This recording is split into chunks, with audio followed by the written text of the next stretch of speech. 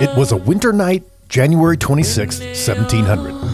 No European settlements, no newspapers, just the moon above the Pacific Northwest and the quiet before the quake. Then, without warning, the earth tore wide open. From Northern California to Vancouver Island, 600 miles of coastline lurched violently as one plate slipped beneath another. The Cascadia subduction zone had awakened. For a few horrifying minutes, the ground convulsed, coastline sank, rivers reversed, and then silence, followed by the hiss of the ocean pulling back before it roared ashore in a wall of water. For more than two centuries, the outside world never even knew this event happened. There were no written records, only indigenous stories passed from generation to generation. They told of a night when the earth shook and the sea rose up to swallow entire villages whole. The Quileute spoke of Thunderbird battling whale, a fight so fierce the ground itself trembled. The Huu-ay-aht told of a wave that swept away entire longhouses. And the Nuu-chah-nulth remembered a village that sank beneath the sea and was never seen again. What sounded like myth would turn out to be memory. Fast forward to the late 20th century. Scientists began finding clues that something enormous had happened. Not recently, but not so long ago either. Along the coast of Washington and Oregon, researchers discovered eerie stands of dead trees, ghost forests, their roots preserved in tidal mud. They hadn't died of disease or fire, the land itself had suddenly dropped several feet, flooding their roots with salt water.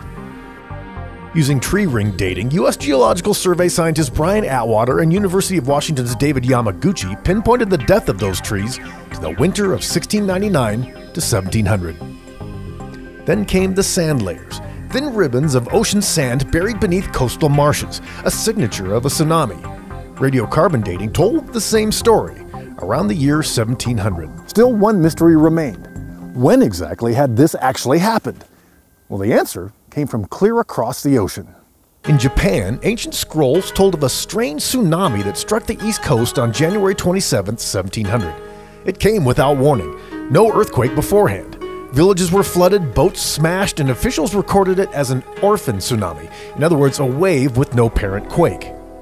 Then in 1996, a team led by Kenji Satake connected the dots. The timing, the wave height, the travel time across the Pacific all matched perfectly. The parent quake wasn't missing. It was the Cascadia. Suddenly, every piece fit the ghost forest, the buried sand, the Japanese records, and the indigenous stories that held the truth for more than 300 years. Today, geologists know the Cascadia subduction zone is capable of producing magnitude 9 earthquakes, among the largest on Earth. They happen roughly every 300 to 600 years. And the last one was January 26, 1700. That's 325 years ago, well within the predicted range. But the problem with predicting earthquakes is it's not an exact science. In fact, sometimes the science doesn't really help. And sometimes they're back to back within a century, and sometimes there's 2,000 years in between. So the bottom line is we don't know. The damage to infrastructure west of the mountains will be enormous, and human displacement will affect Central Oregon.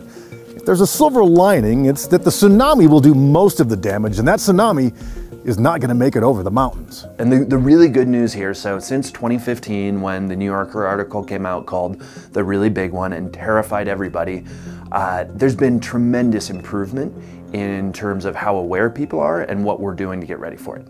And the moment I say that, there's also a huge way to go. For Central Oregon Daily News, I'm Scott Elness.